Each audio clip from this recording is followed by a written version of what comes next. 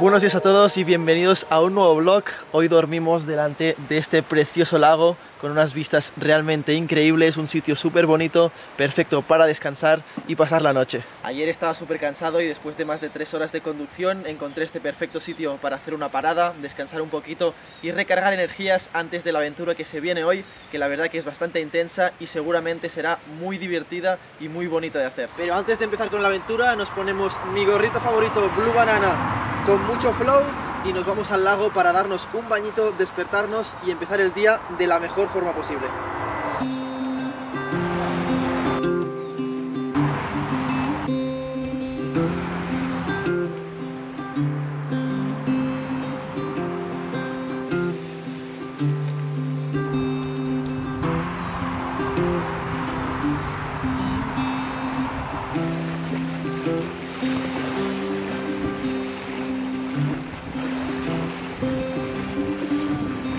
Después de empezar la mañana de la mejor forma posible, una nueva aventura estaba por empezar.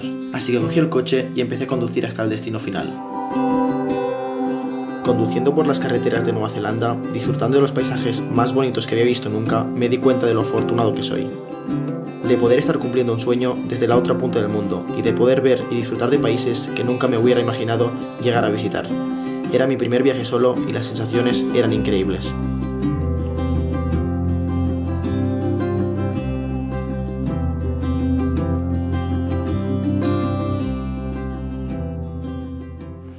Buenas tardes a todos, llegó el momento de empezar la aventura. Hoy nos espera una ruta de unos 17 kilómetros aproximadamente que durarán unas 7 horas.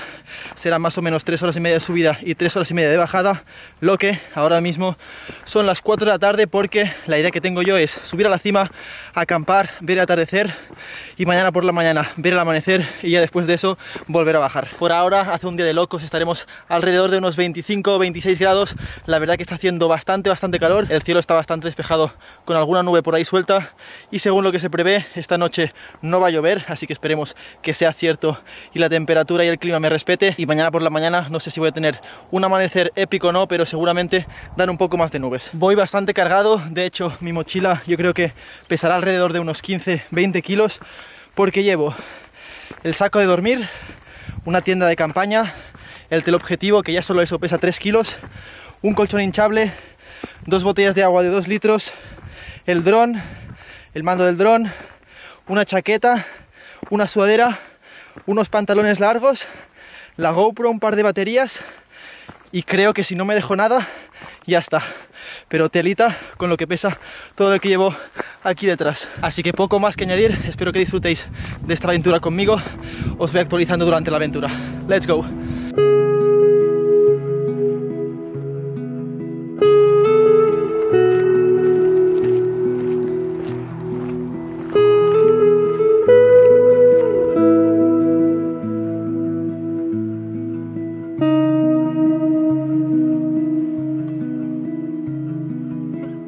De la vida, os pongo en situación. Ayer dormí en Fiordland, uno de los parques naturales más heavy y más bonitos de Nueva Zelanda, y lo que me pasó fue una experiencia bastante mala, que os comento así brevemente. Yo llegué por la tarde, sobre las 4 y media de la tarde, y el hike duraba 7 horas, 3 de subida, tres y media de subida más o menos y tres y media de bajada.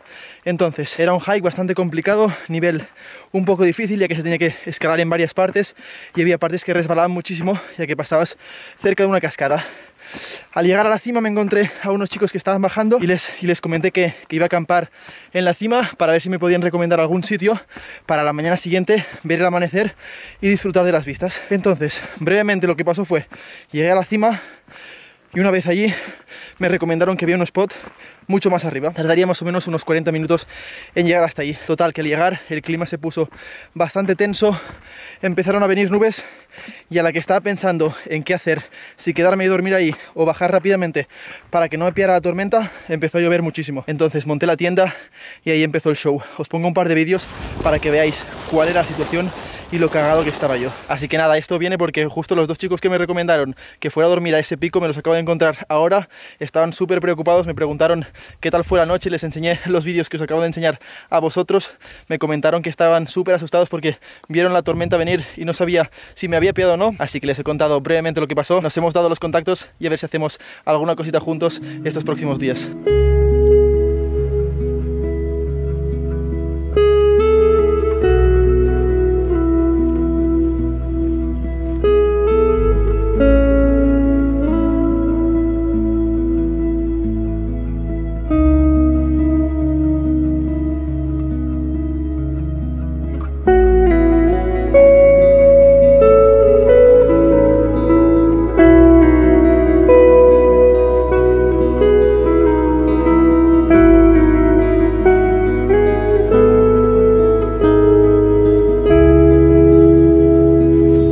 Dos horas de subida llegué a la cima, me relajé, me senté en el suelo y pasé varios minutos disfrutando del paisaje. Ahí estaba yo, a más de 20.000 kilómetros de casa, en la cima de Royce Peak, disfrutando de las vistas al lago Wanaka. Sin ninguna duda, esa tarde fue mágica.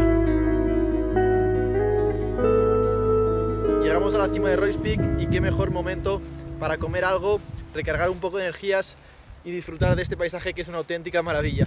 Vengo a comunicaros que voy a montar la tienda en el sitio más bonito del mundo, o sea, el terreno está un poco complicado porque no es que sea plano como si dijéramos, hay plantas por todos lados y la verdad que va a estar complicado dejarla aquí, pero mira estas vistas. O sea, o sea, las vistas son de película literal, así que no sé cómo voy a organizarlo y cómo voy a planar un poco este suelo, pero sí que es verdad que hay como una línea de un par de metros que me va a ir genial para dormir yo, pero bueno, si la tienda queda un poco de lado, tampoco nos vamos a poner exquisitos. Hostia, la verdad que muy plano no es que sea esto, ¿eh? Roger, que sepas que te estoy cuidando mucho la tienda y que ayer me salvó la vida. Así que un beso enorme para ti.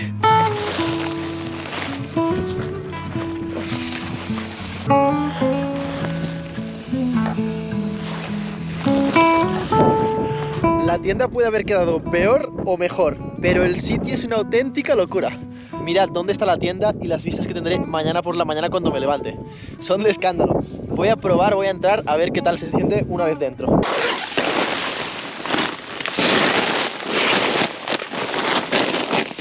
No os voy a negar que tiene muchísimos baches, pero más o menos yo creo que vamos a poder dormir, no perfectamente, pero si no, bastante bien.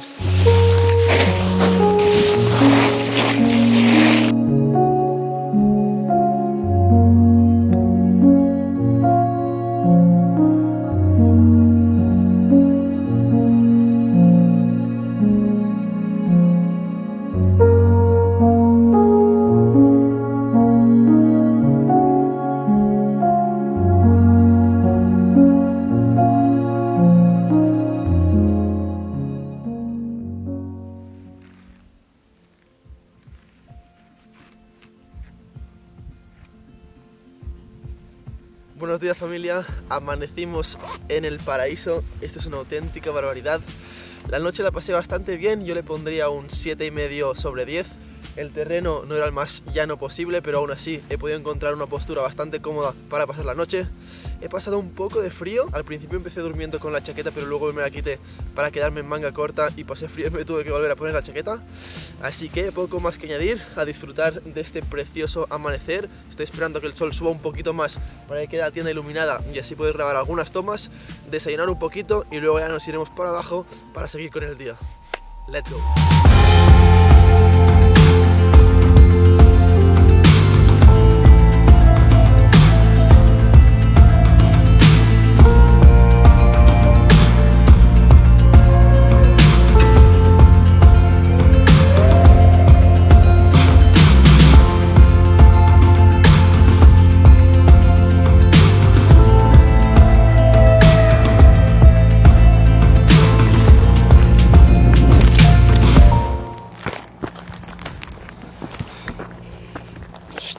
Hostia puta.